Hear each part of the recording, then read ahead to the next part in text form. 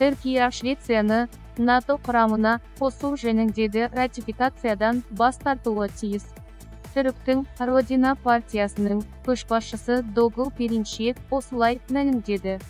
Ол тіпті бұл мәселені шұғыл түрде ұлттық жиынның талқысына салып бұған дейін қабылданған шешімінен бас тартуға шақырып отыр. Себебі де патты түркияның өзі нато дан шеттетіліп отыр. Оның үстіне еуроодаққа қосыла алмай келеді деді партия төрағасы.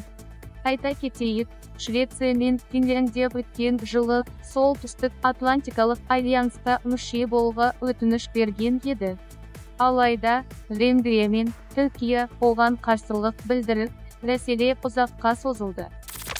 Биыл хельсинки сәуірдің төрті күні альянсқа қосыла алды. Ал стокгольм бойынша нақты шешім осы жылдың аяғында жариялануы тиіс.